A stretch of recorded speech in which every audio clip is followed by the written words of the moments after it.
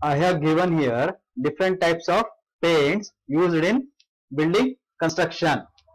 You just go through it. Okay, I am not explaining anything. Right?